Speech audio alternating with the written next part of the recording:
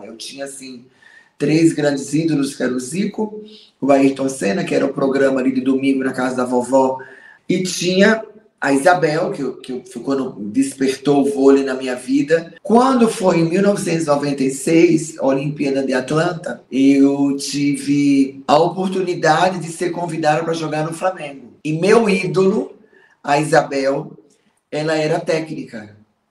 E aí ela me convidou para fazer parte desse time. Ela me escolheu como capitã, a gente teve um, um auditório lá para receber é, a imprensa, né? Todo mundo ali vestido com a camisa, tudo. A Isabel me chama no palco para eu falar, né? E eu super emocionada. Eu falei, poxa, estou muito feliz, muito emocionada de vestir essa camisa número 10, porque eu sempre subi com a número 10 por causa do Zico. De repente entra o Zico na, na, no meio da reunião com a camisa número 10 e me entrega essa camisa. E eu, eu, eu não conseguia falar, eu me tremia, eu não, eu não conhecia ele pessoalmente, né?